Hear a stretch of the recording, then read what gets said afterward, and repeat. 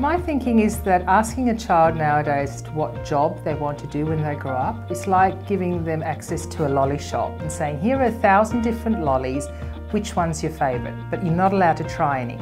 So really it's about, for the student, getting a sense of, well, what am I good at? What am I interested in? What excites me? What holds my attention? The Jobs of the Future is very exciting because technology is constantly changing and there's so many new things that are always popping up and we're in a situation where we're getting close to what we see in videos and movies and um, it's becoming a dream come true. The opportunities are endless. So it's really important to be continually evolving as the workplace evolves. I think uh, education in particular, we need to keep looking forward and helping educators uh, bring next generations through and really evolve it. It's not necessary to hold yourself back. Tech Trails is an amazing initiative.